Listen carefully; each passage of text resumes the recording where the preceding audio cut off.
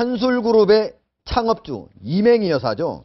손자 조모 씨의 황제병의 거세, 아, 누리꾼들이 아주 네. 거센 비난을 받고 있는데 네, 네. 지금 간단하게 네. 어떤 내용인지 한번 좀 설명을 해주세요. 어, 이 조모 군이 그러니까 그 서울 금천구에 있는 한 금형 제조 업체의 산업 기능 요원으로 지정이 돼서 근무를 금형 제조업. 예, 예.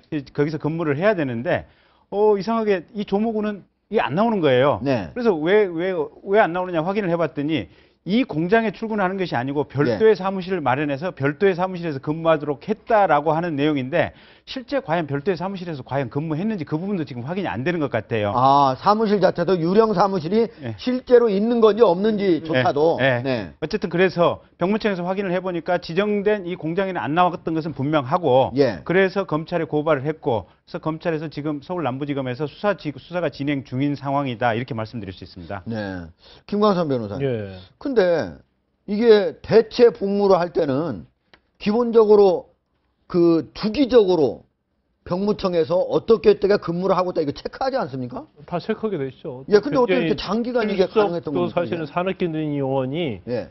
사실 현역 입영 대상자랄지 보충역 입영 대상자에서 이제 특별하게 필요하다고 해서 산업기능 요원은 되는 거 아니에요. 그래서 저는 개인적으로 볼 때 이 사건 자체는 이제 제- 물론 뭐 그 절차에서 어쩔지 모르겠지만 일단 산업기능 요원이 어떻게 됐는가부터 수사가 한다 저는 그렇게 보고 있어요. 아하. 그래서 그 자체도 의혹 대상이다. 그렇죠. 산업기능 요원을 한다는 것은 현역이나 다른 보충역에 비해서는 굉장히 편하게 있는 것이고 네. 그다음에 또 월급까지 받거든요. 예. 그렇다면 이것도 특혜인데 일종의 예. 산업기능위원이 어떻게 됐는가부터 수사가 시작돼야 할 것이고 네. 그다음에 당연히 뭐 출석 부분에 대해서는 뭐 체크가 돼야 하는데 그러니까 이거는 그 데리고 있는 그 회사가 병무청을 지속적으로 속이지 않는다면 불가능한 겁니다. 그죠? 뭐 당연히 당연히 그렇게 하겠죠. 네. 더군다나 만약에 별도 그런 것 같아요. 이게 왜 문제가 되니까 별도 사무실을 마련해줘서 거기서 출근을 하고 있다 그렇게 얘기를 하는데 예.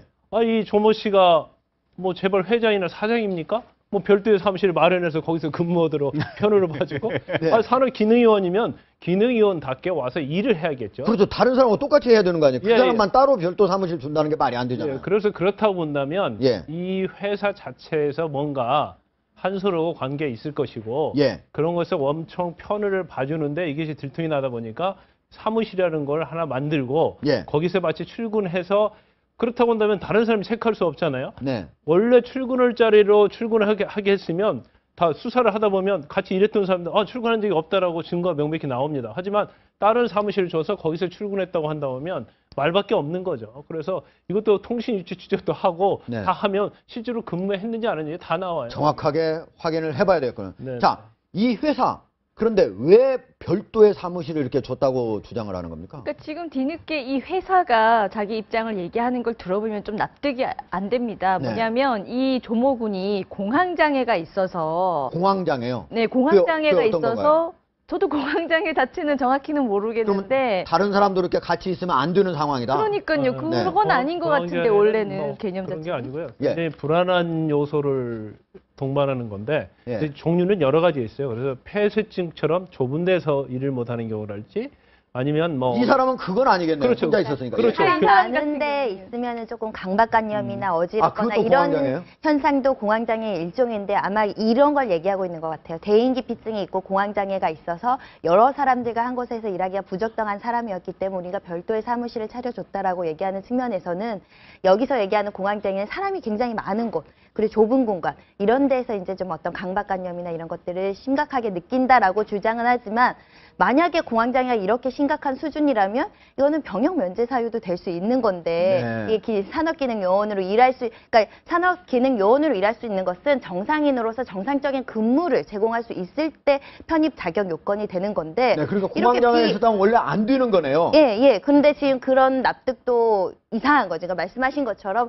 어떻게 이 기능 요원이 됐느냐부터 따져봐야 되는 문제가 발생. 예, 강윤재 변호사님 지금 아까 말씀하시다가 좀 끊어졌는데 음. 그 그러니까 회사, 회사 에서 입장에서는- 공황장애가 있다. 또 어떤 주장을 하고 그러니까 있습니까? 이렇게? 공황장애가 있어서 독방을 줬어야 됐다는 거고 예. 그리고 뭐 이 사람의 출신 성분이랄까요 재벌 자녀라는 건 본인들은 애초에 몰랐다. 전혀 몰랐다. 네. 근데 통상적으로 이게 네. 아무리 현역은 아니지만 대체 복무라고 해서 이게 군 복무예요. 네. 군 복무인데 신체적인 조건이 되지 않아서 이 대체 복무로 가는 거라서 병역법을 철저히 준수해야 되는 일이고 이런 사실들은 이 회사 도 당연히 알고 있거든요. 이런 대체 복무자들을 받는 곳이기 때문에 예. 병역법이 얼마나 엄중한지도 그리고 알고 대체 있단 복무 말이에요. 시킬 때 어떻게든 그 사람들 잘 활용하려고 하지. 그 그렇죠. 사람 배려하려고 만약에 아닌 것 같으면 그냥 보내면 되는 거 그렇죠. 아닙니까? 그러니까 병역법 위반이 될 경우엔 본인들이 문제된다는 걸 너무나 잘 아는데 재벌 자녀인지도 모르면서 그 중에 한 명이 나 공황장애 있어요. 공황장애 때문에 뭐 어려워요. 이런 말을 했는지 모르겠지만 그렇다라고 해서 알아서 독방을 또 열어주고 이, 이 조모군의 출퇴근이나 이런 거 철저히 네. 감독하지 않은 것은 말이 예. 안 되는 거죠. 예. 자, 김경희 변호사님. 네. 근데 좀 특이한 게이 네. 바로 조모 씨. 네. 여기 보면은 한솔제지에 보면은 조동혁, 조동만, 조동길 네. 이분들도 또 모두 병역 면제를 받았어요. 이분만 그래도 대체 복무라도 좀 하다가 이런 문제 생겼어요. 그렇죠. 그러니까 왜 어떻게 이렇게 다 받을 수가 있었습니까? 아니 그러니까 사실은 본인 아버님도 그렇고 네. 본인 뭐 큰아버님, 숙부님, 아버님 형제들이 다 면제를 받았다는 거예요, 군대를. 그러니까 어, 무슨 이유 때문에 이렇게 다 받게 됐습니까? 글쎄 그거는 모르겠어요. 예, 그냥 다 세상이 참 특이합니다. 특이한 특이한 거예요. 그러니까 예, 아버님 세대가 전부 지금 병역 면제를 받았는데 다 그러면 군 복무를 할 수 없을 정도로 네. 신체적인 장애가 있거나 뭐가 네. 있다는 거 아니겠습니까? 아니 근데 이게 그 지금 유전 아닐까요, 유전? 공항 그러니까 유전적인 게 아니면 도저히 납득하기 어려운 아니, 아니 결과죠. 저는 병이 형제가 게 전체가 병이 유전이라는 게 아니고 예. 병역 특례 유전이 그 말을 아 병역 특례 받는 것 자체가 유전을 유전 이렇게? 대물림으로 네. 내려왔다는 거죠. 예. 아니 그러니까 네. 군의관이 틀림없이 다 이게 검사했을 거 아닙니까? 네, 네. 검사해서 이상이 없으니까 지금 군복무 대체복무는 가능하다고 해서 판정을 해서 지금 했을 거 아닙니까? 예. 그리고 이 정도 좋은 집안에서 이 정도 돈이 많은 집안에서 네. 아버지들이 진짜 군대 안 가는 것이 그냥 어떤 가, 가정의 문화처럼 된 이런 집안에서 예. 정말로 합법적으로 군대를 면제받을 만한 사유나 진단이 나온다면 예. 그 징병검사 과정에서 그런 진단서 내고 당연히 면제 받았을 거 아닙니까? 예. 아니 별도의 지금 이, 이 회사 자체가 돈이 예. 부족해서 지금 병역 특례 요원을 임시직으로 쓸 수 있는 이런 사람들을 받아서 운영하고 있는 이런 상황인데 예. 거기에 빈 방을 별도로 얻어줄 정도로 엑스트라 별도의 비용을 지출해가면서 이 산업기능 특례 요원에게 돈을 더 쓴다? 음. 상식적으로 지금 납- 납득이 안 되는 얘기들 아니겠습니까? 네. 그러니까 턱도 없는 얘기를 하- 하는 거고요. 예. 2007년도에 그 지금 가수 싸이 씨라든지 병역비리 수사, 이 산업기능요원 수사했을 때도 실은 보면 회사 내부에서 이런 식으로 돈을 받고 편의를 봐주는 일들이 많아가지고 네. 회사 내부 관계자들이 그때 당시에도 한 10여 명 정도 구속됐던 전례가 있습니다. 예, 예. 그러니까 이 사건도 본인들은 뭐 재벌 아들인지도 몰랐다. 그다음에 예. 뭔가 이러이러한 문제가 있어서 별도의 사무실을 얻어줬다라고 예. 변명은 하고 있지만 예. 그 변명 자체가 거짓말일 가능성이 거짓말일 가능성이 굉장히 높고 어허. 경우에 따라서는 이 사람들도 아마 회사 내부 관계자도 형사처벌을 가능, 가능 받을 같이 가능성이 예, 공범일 가능성이 높다. 높습니다. 예.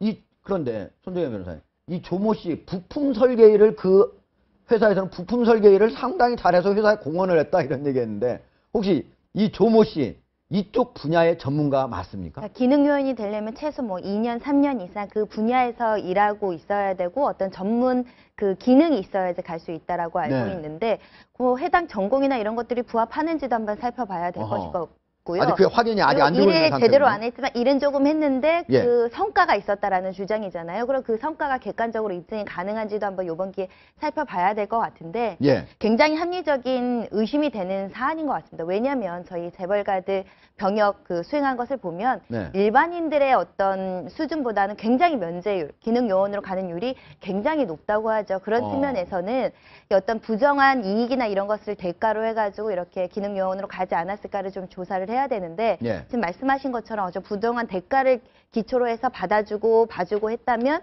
병역법에서도 굉장히 엄중하게 처벌하고 있거든요. 네. 그래서 지금 범삼성가인데 혹시 협력업체나 이런 하도급 관련해 가지고 좀 이익을 받은 게 없나 업체 예. 측에서 그런 것도 좀 같이 조사를 해야 될 것 같습니다.